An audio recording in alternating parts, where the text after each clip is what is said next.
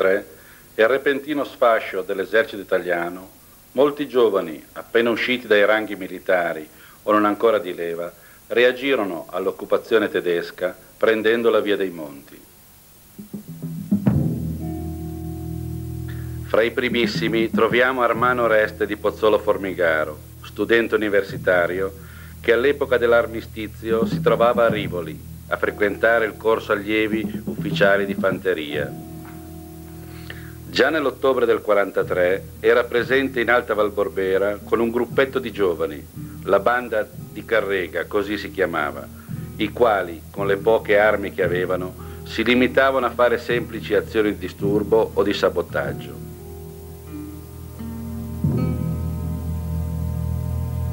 Nel frattempo, anche Franco Anselmi, tenente d'aviazione rifugiatosi in Dernice, suo paese d'origine, fra la Valborbera e la Valcurone in provincia di Alessandria, organizzava uomo su uomo la sua banda, conquistando fiducia e prestigio presso le popolazioni locali.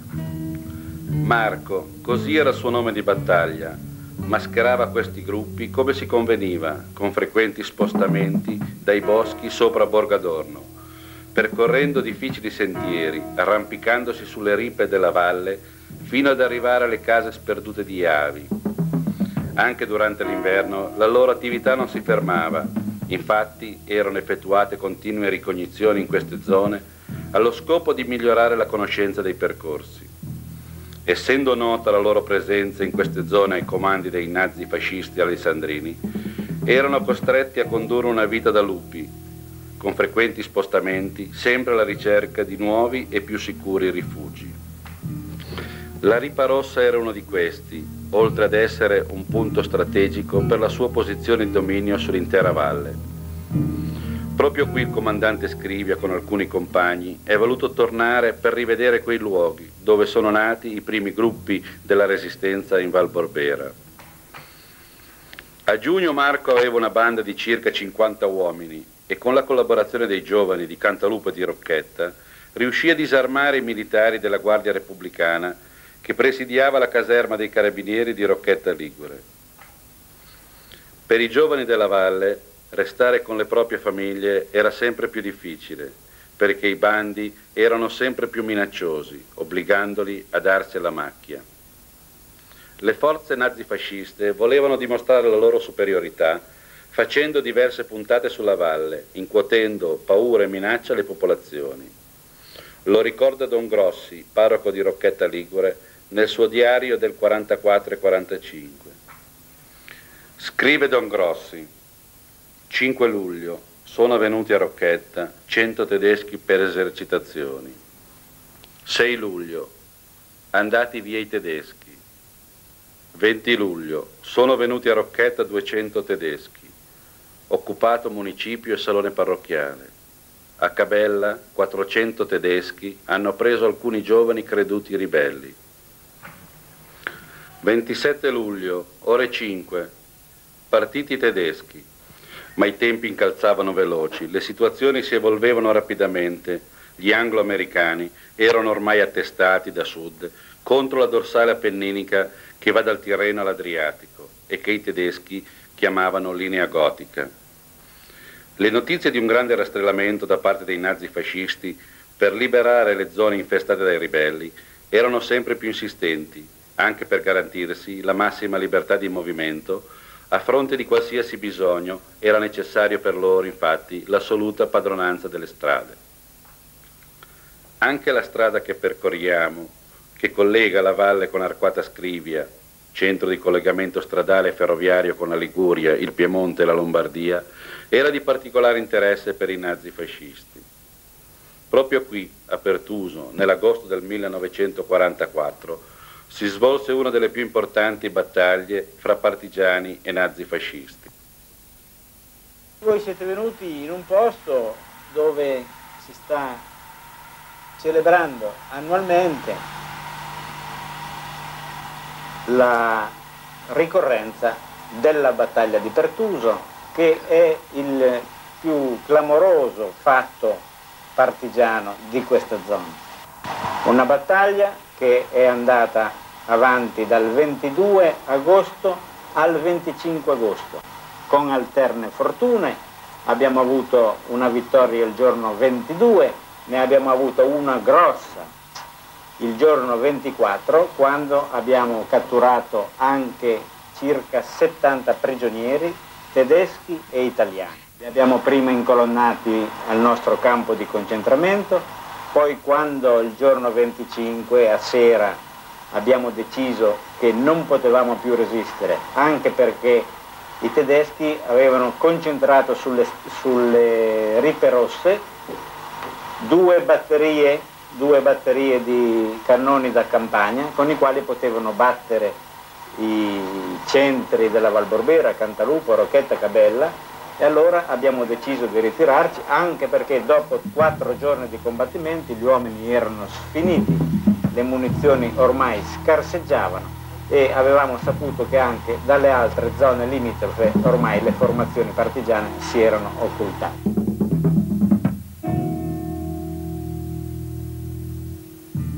E altro di quelle tre battaglie di Pertuso, più che mi ricordo, è stata la seconda, che il comandante mi ha mandato dalla parte di là dal fiume e più in giù nell'avanzato, nel ponte avanzato, con l'ordine di non sparare a prima vista, come di lasciargli entrare la colonna dei, dei bersaglieri e fascisti. Questa fila di la fila indiana che venivano avanti e vedo poi un carro trainato da un mulo che lì ho capito dopo che c'erano le munizioni e trainavano anche un cannoncino anticarro.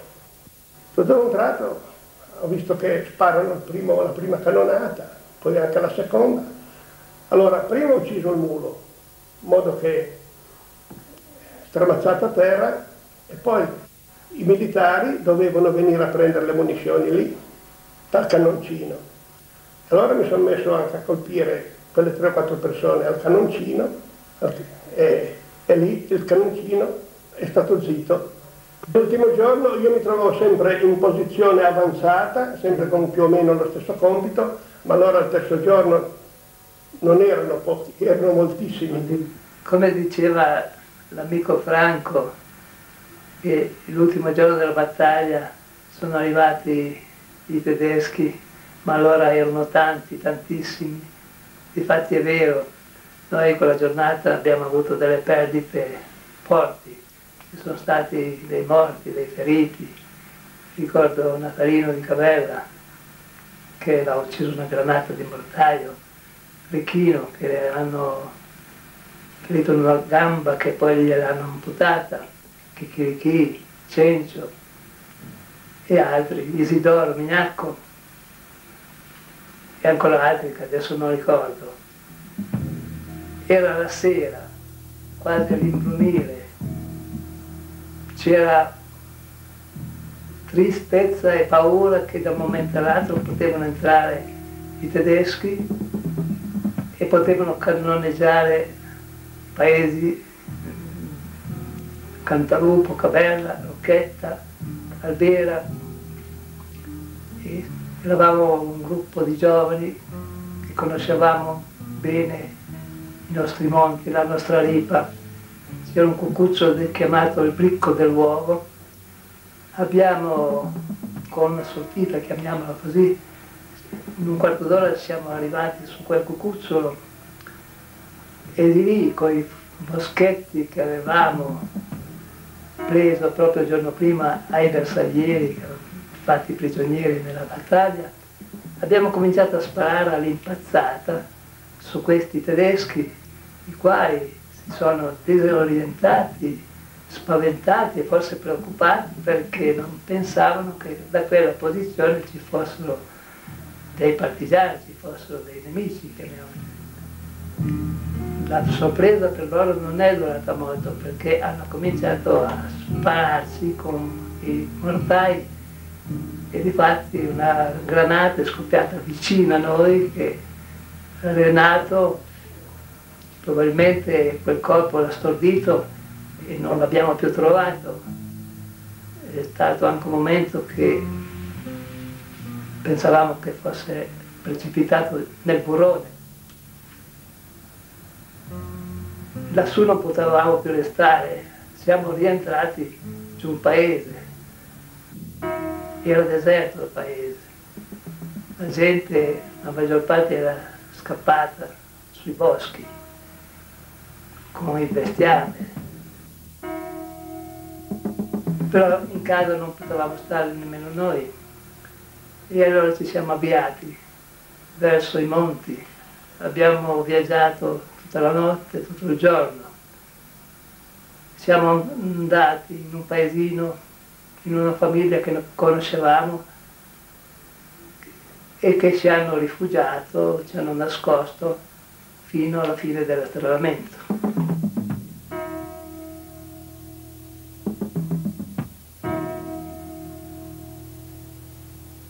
Notizia Cabella che c'erano dei feriti, sono informato, visto che c'era anche il mio fratello.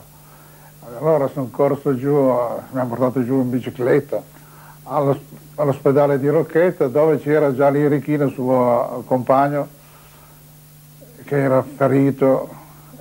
Mi hanno detto guarda vai giù, che mi hanno portato di nuovo in bicicletta anche là, invece era morto ormai. E abbiamo preso una sedia sdraia lì nella casa, ce l'abbiamo messo sopra per portarlo su a Cantalupo almeno.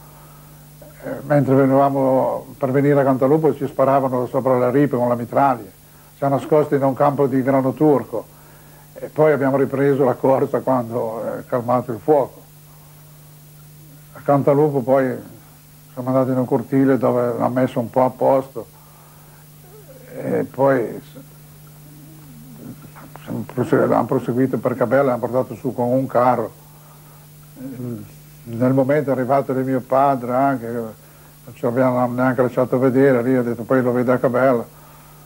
Siamo arrivati a Cabella, era quasi notte, abbiamo passato la notte lì, c'è rimasto Giovanni Bava a farci compagnia perché da Cabella erano scappati tutti, sino al mattino, al mattino appena all'alba l'abbiamo portato al cimitero, abbiamo trovato quattro persone in combinazione. Diario di Don Grossi, parroco di Rocchette, 22 agosto 1944. Guerriglia Pertuso fra partigiani e patrioti che popolano questi monti e repubblicani e bersaglieri venuti in camion da Novi, in 28. Nell'ospedaletto portati tre partigiani feriti, e tre repubblicani feriti. Altri quattro repubblicani medicati e portati al castello di Borgo, ove è il comando partigiano. Il comandante è Marco. Italiani contro italiani. Vittoria dei partigiani.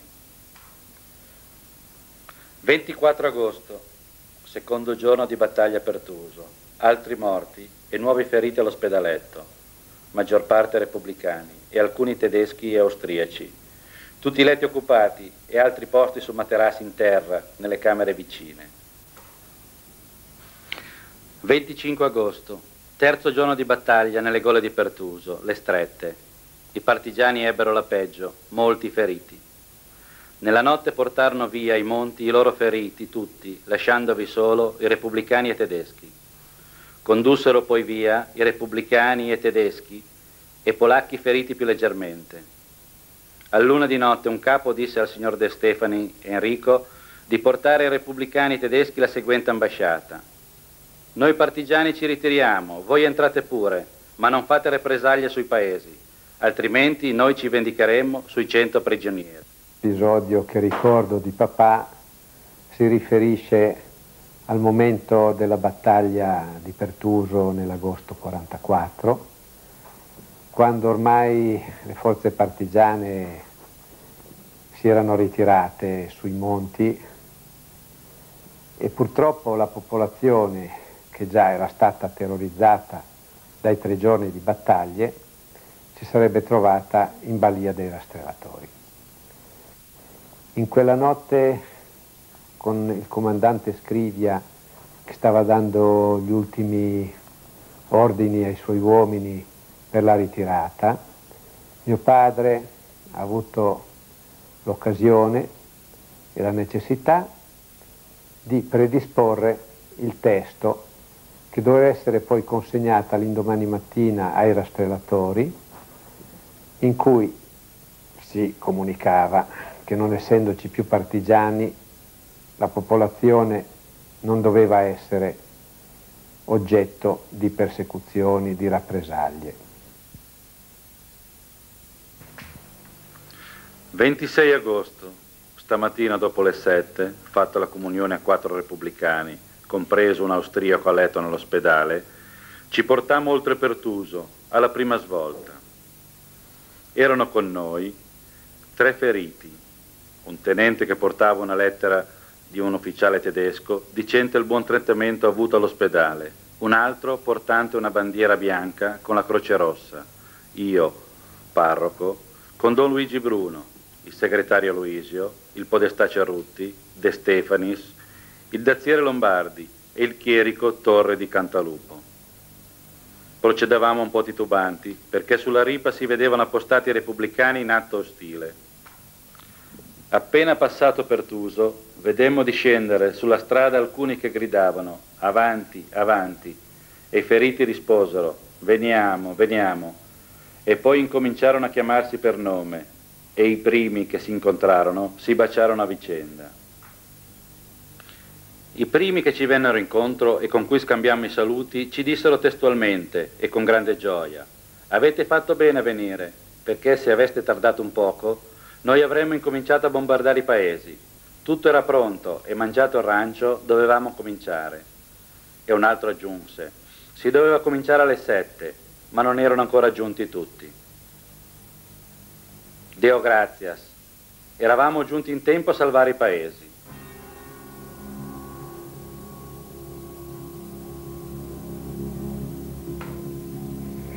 Le popolazioni della valle tiravano un sospiro di sollievo la grande paura era passata. I rastrellatori avevano raggiunto i monti per congiungersi con le altre forze nazifasciste provenienti dalla Valtrebbia. I partigiani avevano lasciato liberi i prigionieri catturati nella battaglia di Pertuso. Ma una tremenda notizia rimbomba nella valle. Quattro partigiani, leggermente feriti, erano stati catturati e barbaramente uccisi da un gruppo di brigate nere. Complice un prigioniero polacco che aveva voluto seguire il suo connazionale Cencio. Giulia, testimone dell'accaduto, ci racconta il fatto. Ehi, come sarà il tuo figlio? Ecco, non lo sai come va a finire, ma capisci che sei tra la vita e la morte. Poi qualche ragazzo, perché erano giovani queste brigate nere, cioè sì, sì, sì. gioventù, no, c'erano solo due comandanti, che erano persone un po' più, ma vecchie, vecchie su, sui 25-30 anni il comandante. Le, eh, gli altri avevano tutti 18-20 anni, 16 anche, sì. proprio ragazzini. Loro si sono messi lì sulla strada, parlavano come niente, niente cosa, poi arrivano, ma Chicchirichi l'aveva intuito. Sì. È stato l'unico che ha capito che doveva succedere qualche cosa. No, non si riusciva a parlare, perché avevamo un nodo in gola, perché ormai... Certo la faccenda si vedeva com'era. E, e niente, ci hanno fatto spostare quando noi, perché sta fascia era lunga, loro erano qua, quando noi siamo arrivati sulla punta, che eravamo sulla strada, abbiamo sentito gli spari. Allora abbiamo detto, vigliacchi l'avete uccisi. A voi non vi interessa, camminate, eh? niente da fare, no? I primi, poi, vabbè, li devono averli crivellati.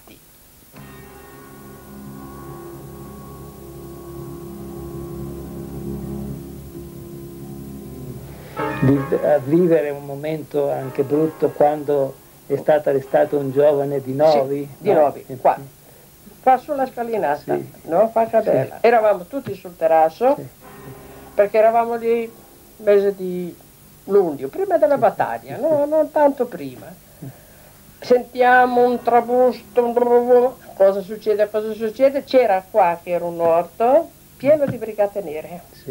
Cioè, da dove sono sbucate, avevano forse lasciato i cami lì a... un po' prima. Un po' prima. Questo ragazzo veniva su per la scalinata, se l'è trovati davanti, sì.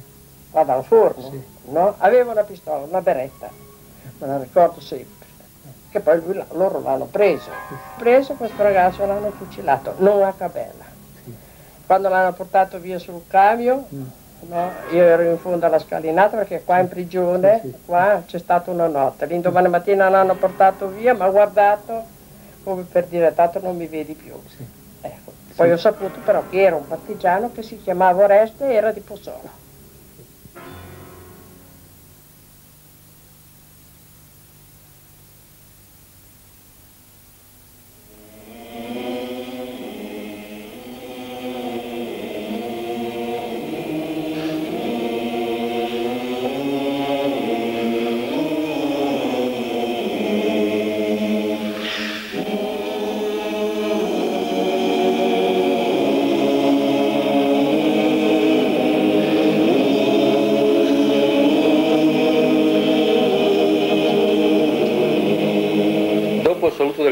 Sindaco di Cantalupo, Mario Carniglia, prende la parola il comandante Scrivia. Egli ricorda quelle terribili ma gloriose giornate d'agosto, vissute insieme alle popolazioni, senza la cui piena e incondizionata collaborazione non avrebbe potuto nascere e prosperare la resistenza in Val Borbera. Scrivia ha voluto anche ricordare il grande significato della stele di Pertuso, zona di confine e luogo di importanti incontri per lo scambio dei prigionieri.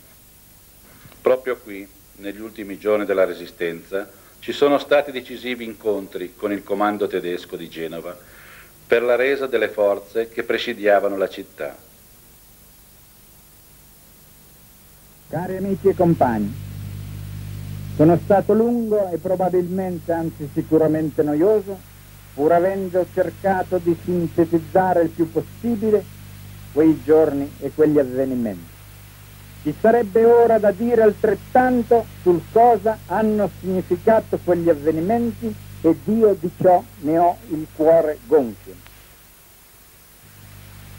Dieci giorni dopo eravamo nuovamente ben saldi qui a Pertuso, a Dernice, a Mongiardino. La resistenza continuava. Sulle nostre bandiere brillavano otto nuove stelle. Arzani, Repetti, Cornaggia, Franchi, Cencio, Castiglione, Busi, Foggia agli occhi.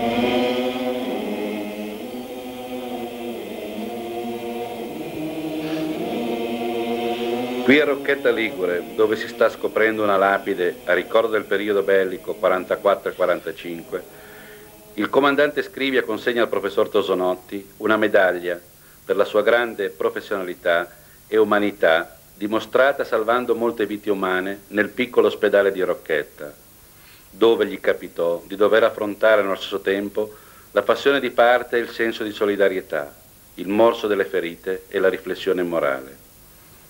Questa struttura, ricavata grazie ad un lascito e ideata per l'assistenza alla popolazione dell'Alta Val Borbera, era tagliata fuori dalle strade di comunicazione, dagli eventi bellici. L'ospedale si trovò subito, in quell'estate del 44, coinvolto in prima linea da una guerra particolare, combattuta in casa. Vi si soccorrevano, oltre ai civili, i partigiani feriti, ma non solo. Vi si curarono i soldati tedeschi e i loro collaboratori delle formazioni di Salò, che li accompagnavano nei cosiddetti rastrellamenti, feriti in combattimento nella zona e fatti prigionieri.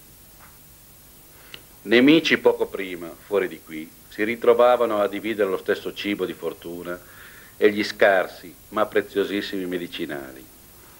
Separati da pochi metri, fra una branda e l'altra, testimoniavano che un barlume di umanità sopravviveva ancora, nonostante la guerra. L'inaugurazione dell'ospedale era stata prevista per l'autunno del 1944, eh, per la primi di settembre del 1944. In realtà fu inaugurato di forza qualche tempo prima perché mi pare che fosse i primi giorni d'agosto, eh, sempre del 44, trasportarono d'urgenza un contadino di un paese sopra che aveva un'egna strozzata da alcuni giorni e fu operato, mi ricordo, su un tavolo eh, di grandissima urgenza e, gua e guarì. In effetti però eh, l'attività vera e propria dell'ospedale iniziò eh, tragicamente con la battaglia di Pertuso eh, dal 22, 20, 21, 22 agosto fino al 26. Ci furono molti feriti, eh, di varia gravità ovviamente, e l'ospedale li accolse tutti e provvì da tutti. Direi miracolosamente perché in effetti eh, tutto si svolgeva in, in una piccolissima stanza dove c'era il lettino operatorio, una lampada, eh, che era, la lampada era il, diciamo, il gioiello tecnico, dove l'anestesia era fatta da una suora che versava del cloroformio su una mascherina eh, del paziente, eh, dell'operando, oppure localmente perché fu fatto molto ricorso all'anestesia locale, eh, precorrendo un po' i tempi anche. E poi tre piccole stanze dove c'era complessivamente eh, prima una quindicina, poi una ventina di letti, 22, 24, 25, che però nei periodi di, direi, di grossa necessità, come la, dopo la battaglia di Pertuso, ma anche nei periodi seguenti, diventavano anche i posti disponibili, diventavano anche 35, 40, si sistemava la gente un po' dove capitava, eh, si, si tirava avanti. Ecco, io direi che eh, la cosa più, forse più, che più può colpire è il fatto che eh, un ospedale così, poi, ecco, fatto con una parte dei locali di un asilo e eh, che aveva un organico medico eh, che era formato da mio padre, dal, dal, dal dottor Forno che era un bravissimo medico, ma di, non era un chirurgo, eh, da altri che assistevano il dottor Gianni, il medico condotto locale, dal, eh, da mm, volenterosi, qual era per esempio eh, il dottor Pertica, che si stava forse laureando, forse dottore, e altri, la stessa ostetrica, eh, sono riusciti a fare delle cose veramente che oggi viste così eh, al di fuori di quello che era il clima di quel periodo, quello che era, che era il modo con cui la, la gente viveva quel periodo, viveva quelle vicende, hanno del miracoloso. L'ospedale ha funzionato più che tutto come centro chirurgico, perché fortunatamente quegli anni, sia il 44 che anche l'inizio del 45, i due inverni, insomma 44 e 45, sono stati due inverni terribili, però la popolazione era sana, non, non, non, rari casi di bronchiti, di, di pleurite, poi non mi risulta che sia stato eh, ricoverato qualcuno con pleurite, broncopolmoniti, uno o due, rarissimi casi, era più forme diciamo, di, di, di, pronto soccorso chirurgico che non, non, non bisognava rimandare perché erano, erano, erano urgenti insomma. Ricordo diversi feriti che sono stati trattati e che anche eh, hanno, hanno su, superato delle fasi molto critiche nonostante le, la gravità dei, dei casi. L'ubicazione dell'ospedale che era un po' fuori mano, c'erano, ricordo, due scale molto ripide sì, eh, sì, che, che, dovevano sopportare l'ultimo traguardo, che dovevano sopportare questi poveri pazienti quando arrivavano lì. Bisognava, bisognava portare. Erano due scale, due scale ripidissime e bisognava che gli ammalati sopportassero anche quello, l'ultimo, collaudo, certo. prima degli interventi. E quegli interventi erano interventi normali, anzi molto, molto accurati. C'era, ricordo, le, le, due sale, diciamo, la sala operatoria, un'entrata che fungeva anche da, da, da, da diciamo, c'era un'autoclave dove la, la, si faceva la, sterilizzazione dei ferri, delle, delle bende, di tutto quello che era possibile sterilizzare, che, che era necessario. Eh, ricordo, eh, ricordo per esempio, adesso senza una cronologia precisa, ma ricordo eh, un partigiano ferito a Garbagna alla testa e portato qua in condizioni disperate operato aprendo il cranio con un trapano da traforo sterilizzato opportunamente eccetera con dei fili eh, onde, che facevano scorre, facevano scorrere tra un fuori e l'altro per tagliare, levata una parte di cranio, si è tolto il proiettile che era dentro e questo tale forse un po' miracolosamente. Poi guarì però incominciando praticamente una nuova vita perché non sapeva né camminare né muoversi né mangiare né parlare, aveva praticamente un bambino di un anno, un affare del genere. I dati tecnici sono sorprendenti, senza niente si sono, fatti, sono fatte grandissime cose, senza niente tecnicamente parlando, grandissime cose. L'abilità di mio padre come chirurgo non sta a me vantarla, ma doveva essere più che buona, direi notevole. Io ho assistito quasi tutti gli interventi fatti all'ospedale, perché mio padre fidava molto di me, avevo 17 anni e mi usava anche come infermiere volante. Nelle corsie, chiamiamole così, dell'ospedale, perché si era tutti gomito a gomito senza spazio, c'era uno spirito che poi eh, praticamente credo io non ho mai più trovato. Tra l'altro questo spirito c'era anche in senso lato perché furono parecchi i tedeschi e, e i neofascisti che furono curati anche di, anche di ferite gravi all'ospedale e venivano non tollerati, venivano curati così come tutti gli altri e gli altri pazienti che erano lì, sia pure diciamoci, partigiani, no? e certamente così, avversari sul campo per dire qualcosa di più, e, e erano, erano, solidali con loro, perché era gente che soffriva assieme, soffrivano tutti e c'era questo spirito di, di comunità. Ecco, ecco, direi che questa era una cosa molto importante. Nell'autunno del 44 lo scenario della guerra nella nostra valle si presentava ormai definito. I partigiani, sempre più numerosi, presidiavano i punti nevralgici della valle, compiendo le loro azioni di sabotaggio verso il nemico secondo una strategia militare ora ben organizzata. Eh, Silvio mi ha chiamato, mi chiamava a me per andare, essendo sempre più o meno un po' pratico dalle zone, mi mandava a vedere se all'imbocco della galleria Pieve che è quella che da Ronco va a finire a Borgo Fornari, e usciva ogni tanto il, fumo delle, della, nella galleria, usciva il fumo del treno blindato che c'era il cannone a bordo con diverse mitraglie e sapevamo che era lì e i tedeschi non si arrendevano lì per lì. Allora lui detto, mi chiamava per andare a vedere se c'era minato là davanti io piazzavo una mitraglia a una certa altezza, non sentiva, allora quel buonanima di Nosa dice vado io a vedere. Era, era un veneto. era un bresciano, un bergamasco, era un ex alpino.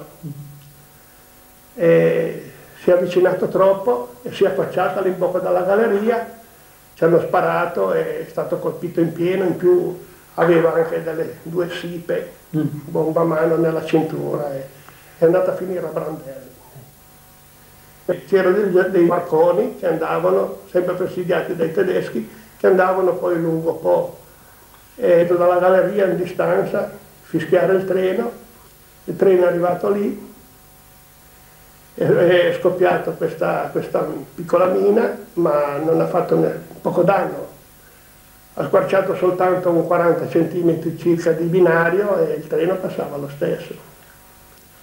Allora noi abbiamo fatto fuoco contro la macchina, il locomotore, allora il locomotore a corrente continua, e sparando contro il locomotore nei, nei, si è fermato perché abbiamo colpito dentro una, due o tre fiammate e si è fermato. Siamo scesi e quel treno lì era scortato da tre tedeschi, abbiamo individuato subito il carro chiuso dove spuntava la paglia che sapevamo che erano e l'abbiamo fatti prigionieri. Eh, questo è il santuario della Madonna di Dovanelli. Dentro c'erano i prigionieri, invece là a fianco c'è la canonica dove c'erano un gruppo di partigiani che facevano la guardia ai prigionieri. Pensi che saranno stati tanti, almeno per sentito dire, i prigionieri? È preciso proprio non so, ma non erano tanti, magari 10, 15, 8 secondo le volte. Perché, perché poi... poi... anche certi prigionieri venivano eh, prelevati e fatto degli scambi con... Sì, i prigionieri tedeschi venivano poi scambiati con gli italiani, con i partigiani italiani. E lo scambio veniva fatto giù al Ponte Rotto in mezzo alle rive. A Borghetto i tedeschi avevano costituito un comando permanente da dove facevano partire i loro mezzi motorizzati, carri armati inclusi, in tutta la zona circostante, fino ad arrivare spesso alle strette di Pertuso. Fu proprio per impedire il superamento delle strette e il conseguente inoltre nei paesi dell'Alta Valle, che il 3 ottobre il comando partigiano decise di far saltare il ponte del Carmine. La gioia della riuscita missione si contrapponeva all'amarezza della popolazione per la distruzione della più imponente costruzione della valle. Quello che comandava l'azione era, era Mina, nome di battaglia Mina, che era, sarebbe stato un maresciallo della caserma Pietro Chiesa di Novi Ligure, del genio minatorio, era proprio specialista su quel campo e quel giorno con delle cassette di dinamite che erano fatte a tronco di cono con un foro dentro, si infilava la miccia, noi facevamo quello che lui ci diceva, finito il lavoro siamo scappati, il ponte abbiamo visto come sollevarsi così e poi cadere giù nella valle sollevandosi poi un polverone enorme che è stato parecchio eh, visibile questo polverone. Nel palazzo più antico di Rocchetta, Palazzo Spinola, l'amministrazione comunale ha allestito un museo sulla Resistenza, ricco di reperti che portano alla memoria ricordi indelebili del periodo della guerra partigiana. Vi si trova un po' di tutto e le origini sono le più svariate Armi e divise militari provengono senz'altro anche dai famosi lanci degli alleati. Sembra ancora di sentire il richiamo di Radio Londa con i suoi messaggi, in codice, come ad esempio Marco va a Dernice, oppure Le ciliegie sono mature, che significava che nei giorni seguenti sarebbero stati effettuati gli aviolanci tanto attesi. Questa rice trasmittente è servita alla missione alleata che, dislocata nella zona partigiana in Alta Valborbera, stabiliva un collegamento efficace fra lo Stato Maggiore alleato e il comando della sesta zona operativa. I messaggi via etere programmavano anche i lanci dei famosi bidoni, contenenti generi di prima necessità, e rappresentavano soprattutto il riconoscimento ufficiale delle forze partigiane da parte degli alleati.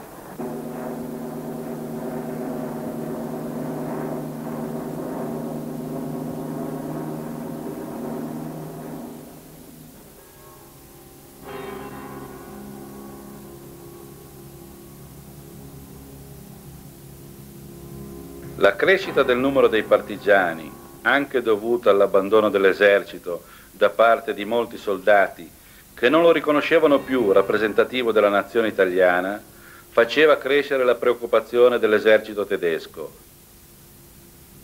il quale non disponeva in quelle zone di truppe appositamente addestrate in funzione antipartigiana. Fu così che i tedeschi fecero ricorso a specialisti della guerriglia provenienti dal Turkestan, i mongoli, così chiamati per i loro particolari caratteri somatici. Costoro facevano della violenza e della brutalità la loro condotta di guerra. Un'altra terribile notizia si diffonde nella valle nel dicembre del 44. Veniva compiuto un rastrellamento di dimensioni mai viste, lasciando ferite incancellabili sulla popolazione e sulle cose. Io nel periodo del 44-45, periodo partigiano, mi trovavo a Rovello perché il mio paese di nascita è una frazione del comune di Mongiardino ed ero stata incaricata dagli stessi partigiani che erano nella zona per l'insegnamento della pluriclasse che esisteva lì in paese. Guardi, mm, adesso non vorrei, la data più o meno non me la ricordo, ma so che eravamo nel mese di dicembre del 44. Io ero come al solito nella scuola con la mia scolaresca, mi pare che fossero 12, adesso non ricordo con esattezza il numero degli alunni, era una classe pluriclasse, quindi dalla prima alla quinta, ed erano verso le 10 quando tutto ad un tratto abbiamo sentito cadere un qualcosa sul tetto che sembrava proprio crollasse. Eh, cosa succede? Questi bambini un po' impauriti, ed io stesso lo devo confessare, ho cercato di nasconderlo agli alunni, però anche dentro di me c'era qualcosa che... E mi, così ho detto, bambini, mettetevi tutti in un angolo, tutti in un angolo, stanno sparando, stanno sparando. Bambini quasi terrorizzati, eh, proprio. Si sono affiancati l'uno all'altro, più stretto possibile, e io quasi mi sono messa davanti, ma mi sembrava di farle scudo. Ecco. E continuato, è continuato questo sparo, poi, guardi, quando è cessato, ho sentito bussare alla porta ed erano già i genitori che venivano a riprendersi i bambini.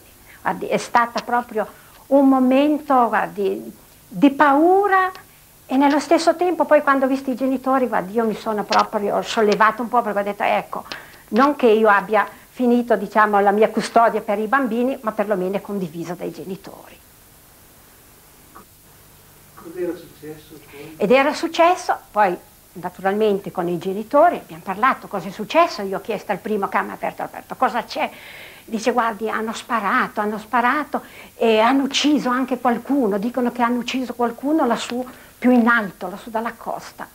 Allora poi altri si sono ancora avvicinati ho sentito gridare, hanno ucciso Pinnan, hanno ucciso Pinnan.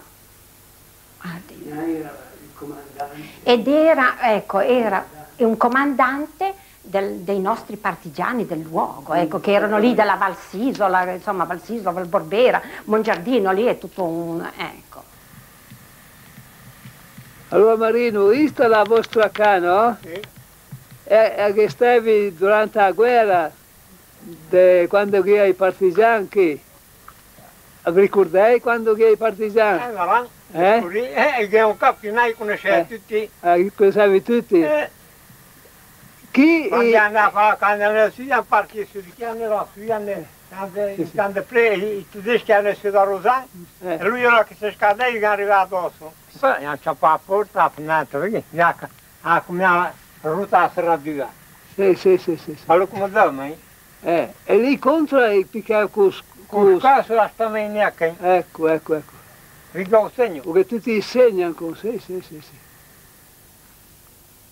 Sono quattro partigiani. Io quattro morti. Ma eh, morti partigiani o tedeschi? Partigiani. Partigiani, partigiani. ecco. E invece quando a me contò che poi dopo oh, De Pinan che a Sende a su qualesa. Sono a piolo un piano di pre. Ah, sei andato a piolo? Sono a piolo un piano di pre, spesso ma quando abbiamo fatto la battaglia, eh. avevamo trovato un piano di pre. Ah, ah, ah. Non aveva soltanto schiuggio. La povera mamma che eh, quando vedeva questi ragazzi, questi partigiani, sì, tutto eh. aveva proprio... Eh sì, lì noi avevamo il bar, eh. eh cadevano tutti lì, cadevano, uscivano i partigiani, arrivavano i tedeschi. tedeschi. Niente, mia mamma vede questi due ragazzi seduti lì dalla stufa e dice signora ci salvi, ci... E come faccio con i tedeschi eh, lì seduti? Vicino non si poteva mica... Eh. Allora mia mamma ci ha dato un po' da mangiare e poi dice con i tedeschi, dice cosa, dove portare questi, mm. eh, portare comando, comando, comando. lì, Borghetto. Sì, sì. Eh, e invece dopo neanche dieci minuti, perché da Cantolupo arrivare lì dove li hanno ammazzati eh sì. non c'è neanche sì, dieci sì, minuti. Eh. Abbiamo sentito sparare, sparare e hanno detto che hanno ammazzato quei due giovani, due o quattro, adesso non mi ricordo più se erano due o quattro. Quattro erano, io quattro, li ho visti. Sì, e poi li ho visti anch'io. Eh, perché... Li ho visti quando erano morti. Però li hanno buttati giù nel campo. erano giù che eh. c'era tutto un, diciamo, che si vedevano lì in fondo, sì. nella neve. Erano, sì, sì, sì, sì, mi ricordo. Perché noi era venuto su nostro cugino di Variano a prenderci perché sapevano dei mongoli cosa facevano alle ragazze. Sì, no? eh. Noi non sapevamo niente, fortunatamente, che abitavamo vicino bene. alla strada e sì. dice, ma mio cugino dice, ma state qua con il pericolo che c'è per le ragazze. Dice venite giù da noi, Variano, che lì c'era il comando eh tedesco, sì, non c'era pericolo. Allora siamo partiti a piedi con mio cugino. E mio cugino, lui l'aveva già visti venendo in su questi quattro morti e ci ha detto, se volete vederli, passate dalla parte di là, che delle volte che li conoscete, eh sì, no? sì, sì. E siamo passati io e mia sorella dalla parte di là per vederli, ma sai, poi eh. erano morti lì nella neve, no? eh. non, abbiamo, non conoscevamo. Eh. E, e, noi tutte intimorite lì con la neve, andare giù a piedi fino Eh a sì, Variano, fino a Variano. siamo andati a casa di questa Eh. mia zia, mio cugino, e siamo stati là finché non è passato il rastrellamento.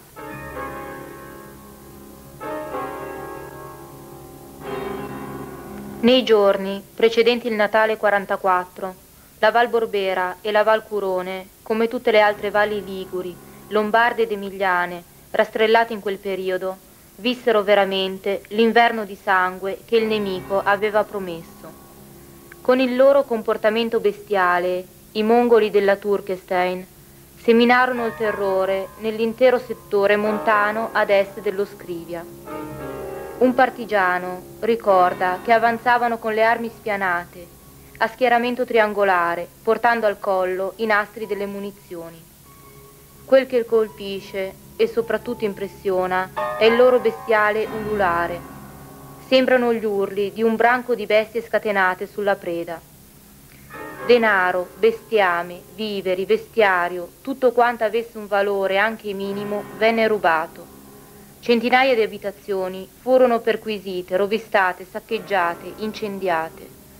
Il nemico non ebbe riguardi per nessuno. All'ospedale di Rocchetta Ligure tutto il personale, cappellano e monache compresi, vennero malmenati da una squadra di mongoli comandata da un ufficiale tedesco.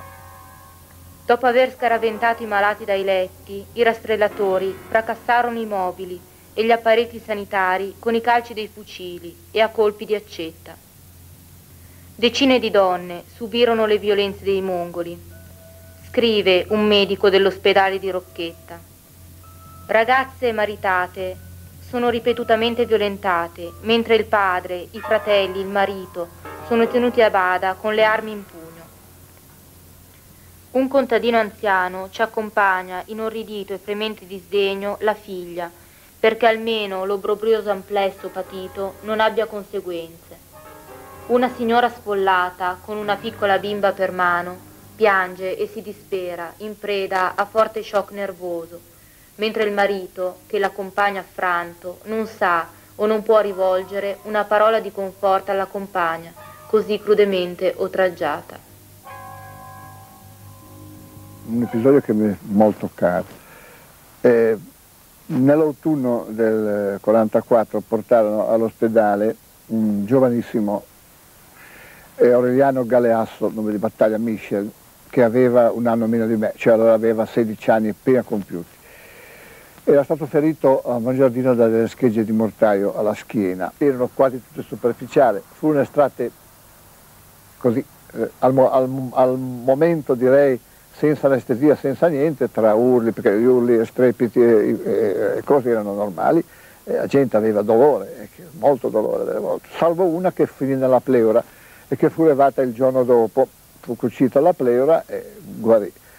Stette a casa mia in convalescenza qualche giorno, poi de- si decise che doveva, siccome era rimasta un po' di tosse e qualche fatto pleuri, qualche sfregamento, dovesse andare ancora in convalescenza, andò a Volpara, un paese qua su nei monti, il 24 dicembre eh, del 1944, mentre era per la strada, vede arrivare i tedeschi, gridò dando l'allarme ai suoi compagni che erano lì, tutti, tutti, con- tutti in convalescenza, e i tedeschi gli spararono, fu colpito un ginocchio, uno gli fu sopra, gli scaricò il mitra nella testa e lo uccise.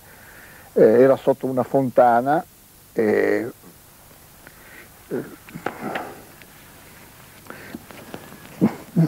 Chiedo scusa. E l'acqua lo, lo ricoprì. Andammo poi il 26, il 27 a prenderlo e fu, era tutto un blocco di ghiaccio.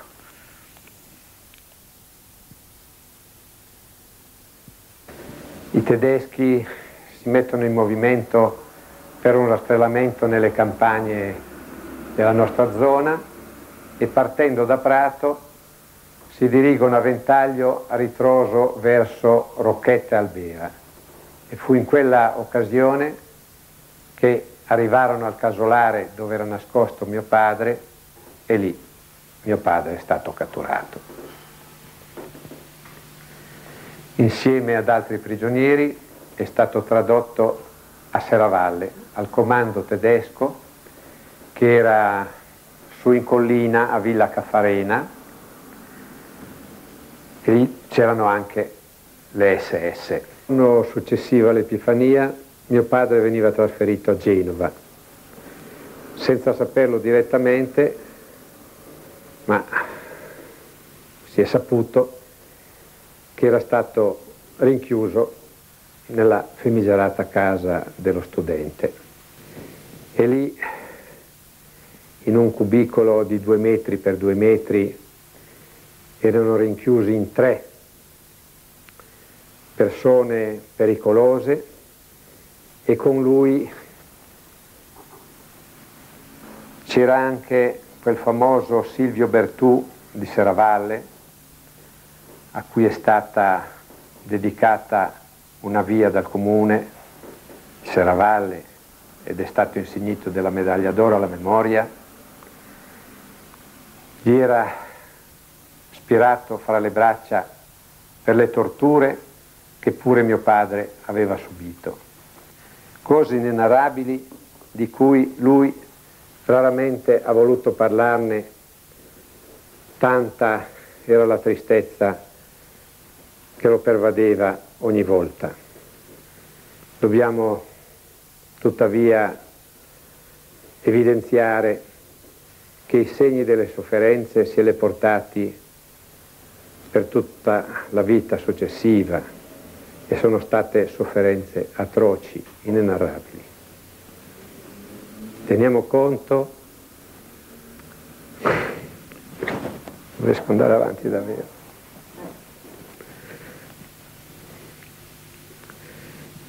che è stato sottoposto alle scosse elettriche con un cerchiaggio alla testa ai polsi, che è stato colpito da nerbate di bue che in viso avevano lasciato delle ferite incise e non più rimarginate, che gli erano stati estirpati metà dei denti e che inoltre gli avevano estirpato le due unghie del dito medio di ciascuna mano. È riuscita a sopravvivere e dopo la permanenza alla casa dello studente di Genova è stato avviato con un treno verso il campo di Mauthausen, ma in questo caso la fortuna ha voluto che si fermasse a Bolzano. Di gennaio del 45 c'era una pattuglia della, di tedeschi e il battaglione San Marco che erano venuti su sia da Genova che da Borghetto per cercare, rastrellare insomma, nuovamente i partigiani.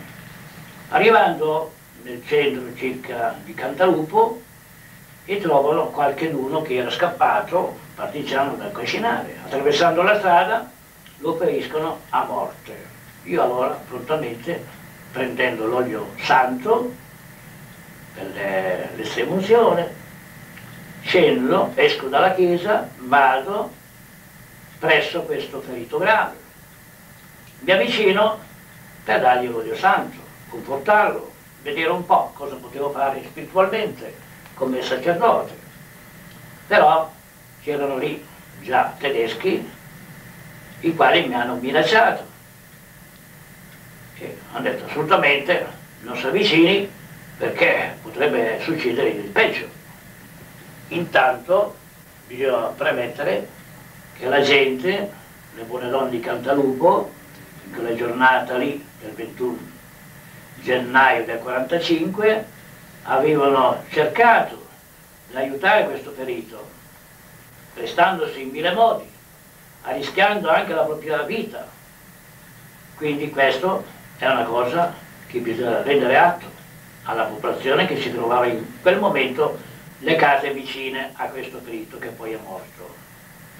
Arrivando alla grande poi battaglia del 2 di febbraio del 1945 che seguirà immediatamente dopo un secondo, anzi un terzo rastrellamento, esatto, terzo rastrellamento. Cosa succede? Succede che al mattino, per buon'ora, del 2 di febbraio del 1945, una colonna di tedeschi e di mongoli, composta in modo prevalente di mongoli, entrano tra le gole di Perduso, attraversando naturalmente, come hanno potuto, il ponte rotto, il ponte del Carmine così chiamato, arrivano a Pertuso e poi cercano di andare nella frazione di colonne e lì è quando hanno preso degli ostaggi. Gli ostaggi giovani, meno giovani, e li hanno incolorati per portarli poi naturalmente a Borghetto dal comando. Quindi arrivano poi in piazza Cantalupo. La colonna invece di proseguire Pertuso, Cantalupo, eh, San Nazzaro, Astratta, Cabella, si fermò in Cantalupo. Poi nel frattempo era arrivato Tigre, erano arrivati altri partigiani, il Franchist arrivò verso le 12. La nostra difficoltà era quella di avere notizie della forza effettiva delle truppe tedesche. Riuscimmo a mandare il ragazzino Mosca ad avvertire la mamma di Dino. Questa donna venne e le chiedemmo di andare in Cantalupo a vedere quanti erano i tedeschi. Intanto nel frattempo noi ci collocavamo per la difesa, i partigiani aumentarono, due squadre del Franchi presero posizione sul ponte e, sulla, e sul contrafforte che va da San Nazaro in Astratta e attendemmo. Verso le 12.30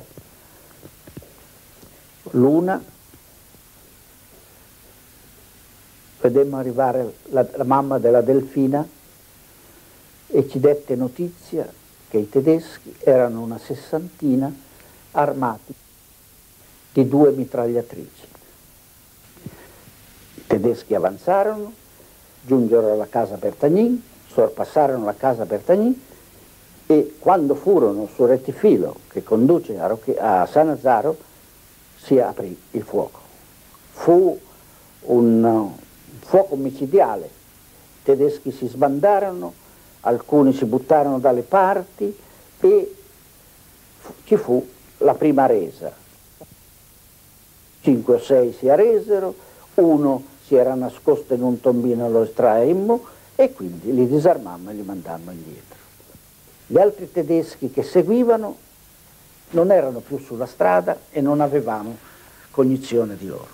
Nel frattempo Fyodor Poletaev, che era del distaccamento Franchi, un partigiano russo del distaccamento Franchi, si accorse che i prigionieri erano dei Turkestan, cioè uomini che facevano parte dell'Unione Sovietica.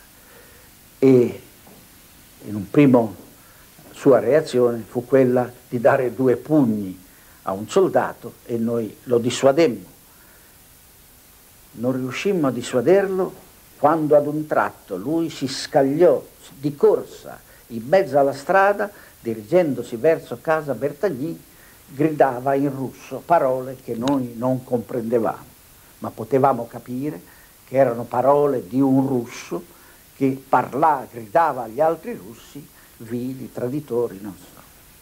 In quel momento, a pochi passi, non pochi passi, forse 10-15 metri da me, quando giunse in mezzo alla strada, un colpo, un, pro, un colpo sparato, poi ne sentì altri due o tre poi va, lo prese in pieno, alzò le braccia, mollò il fucile e cadde all'indietro. Mi ricordo che aveva un impermeabile chiaro e sotto aveva una divisa, una giacca, una, un blusotto inglese.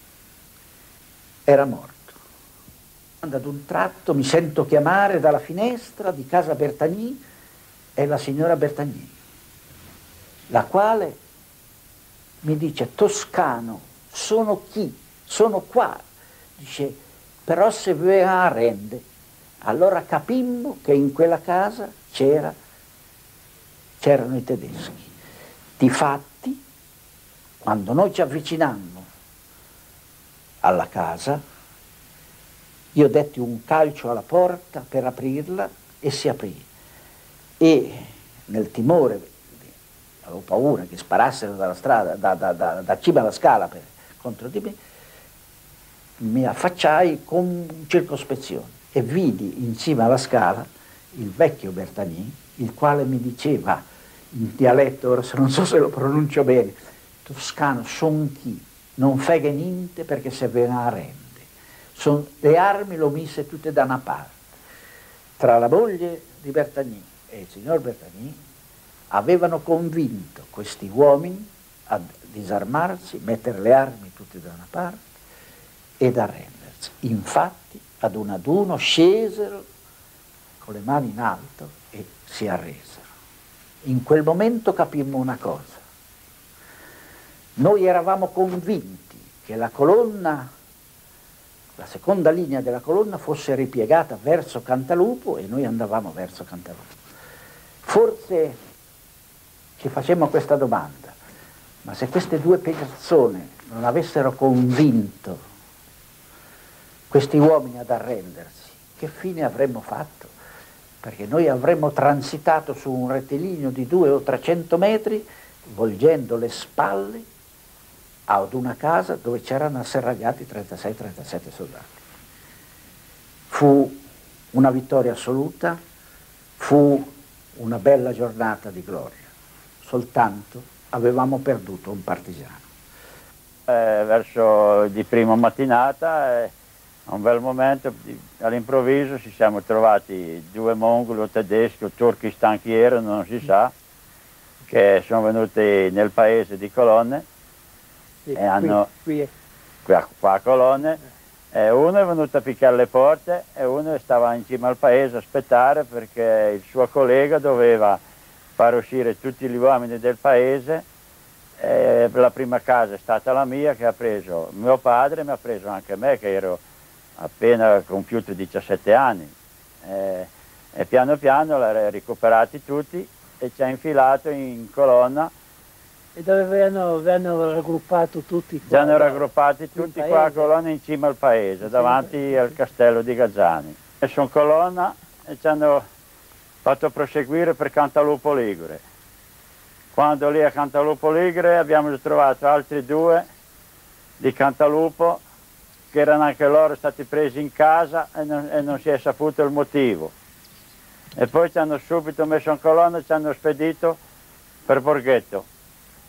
Arrivato a Borghetto ci hanno infilato dentro il comune, che era praticamente era la prigione dei tedeschi che ci tenevano e ci hanno tenuto là per cinque giorni in ostaggio, senza sapere notizie e senza sapere cosa, cosa è successo nella, nella vallata, nella Val Borbera.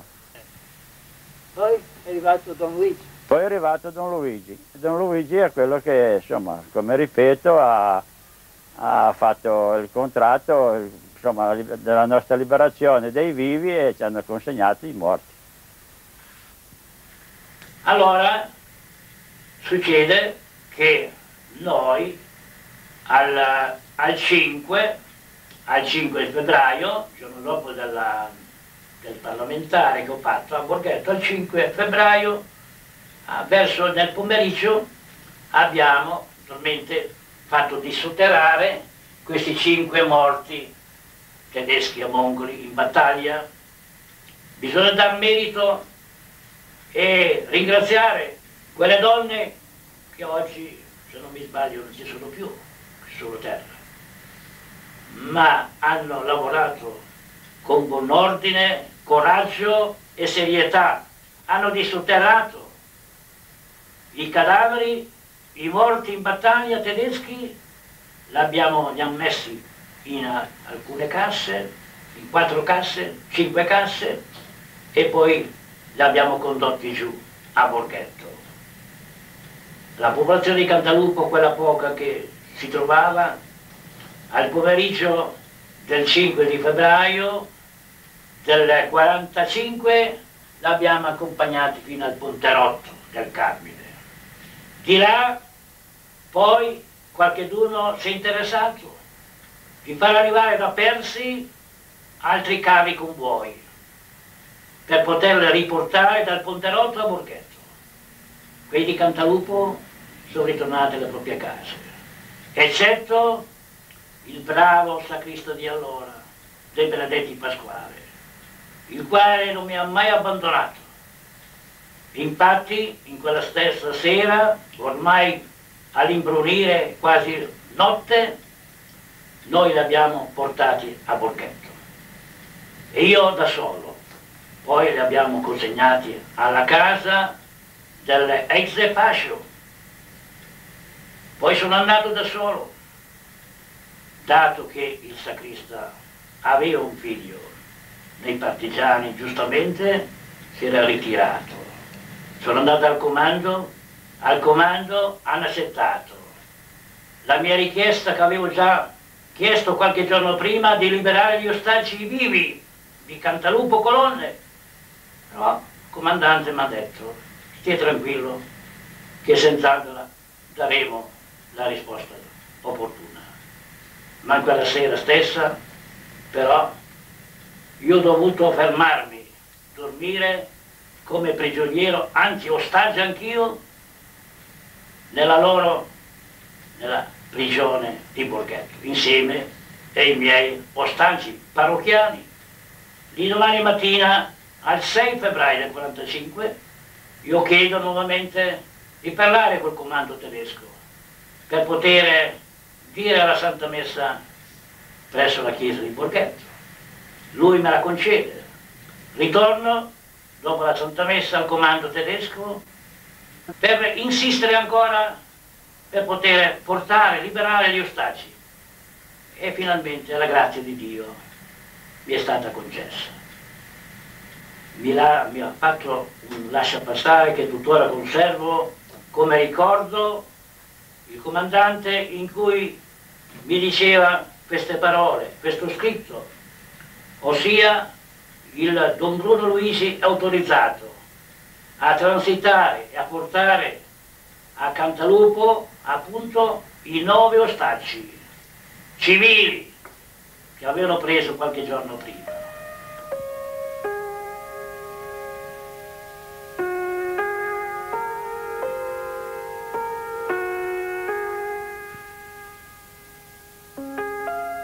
Eh, insomma che ne abbiamo passate delle cotte delle crude. Eh. E poi sì, io poi ne so qualcosa perché un mese prima che finisse la guerra sono rimasta vedova perché mio marito faceva eh, l'autista a Bianco che era un parlamentare che faceva il cambio tra partigiani e tedeschi.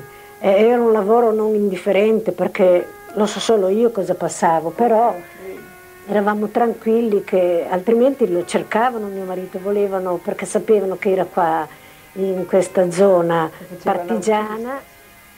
E invece poi un mese prima che finisse la guerra, ecco che sono venuti a dirmi che mio marito era rimasto in, non, so, non, so, come perché c'era stata una sparatoria tra Isola e Ronco, ma io come è andata con precisione non lo so e non lo saprò mai perché allora erano momenti che come si fa a sapere come è andato? sapevano le notizie sì, come adesso che Sono solo venuti a dirmi che mio marito era morto e alla mattina alle 6 me l'hanno portato in casa eh, ti lascio dire cosa, cosa ho passato perché con una bambina di due anni, neanche tre anni che ero sposata, eh, mi sembrava di aver toccato il cielo col dito perché ero un bravo uomo e mi aveva preparato una casetta tutta, insomma ero felice. Voglio chiarire una cosa per sempre e sia molto chiaro. Terminata la guerra, il comando dell'Oreste si riunì e ritenne doveroso riconoscere che non solo gli italiani avevano combattuto per la libertà e la democrazia, ma al suo fianco c'erano stati russi, polacchi, austriaci, olandesi. I, I, russi erano stati quelli che avevano, si erano sacrificati di più. Infatti nella nostra brigata abbiamo, 20, abbiamo 9 caduti sovietici, cittadini russi, che sono caduti sul suolo italiano per combattere per la nostra libertà.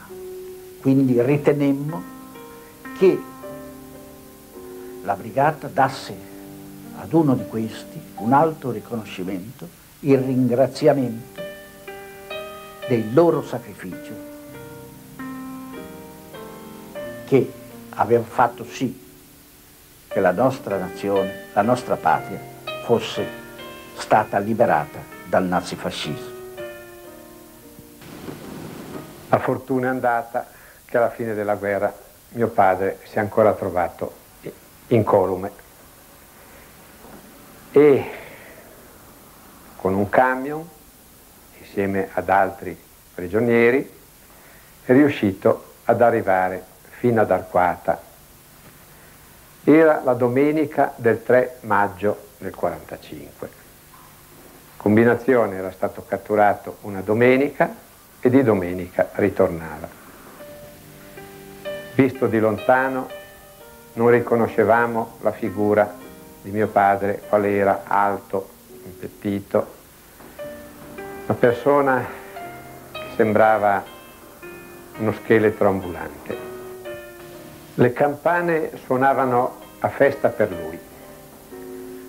Pur nell'impazienza comprensibile di arrivare alla sua casa, egli ha voluto tuttavia fermare il biroccio davanti al monumento e lì ha voluto scendere facendosi sostenere ed arrivare al monumento da dove, di fronte alla folla che si attorniava intorno a lui festosa, ha inteso rivolgere un saluto di ringraziamento e soprattutto però ha voluto invitare la popolazione ad un pensiero riconoscente, ad un momento di raccoglimento per quelli che meno fortunati di lui non sarebbero più tornati a casa.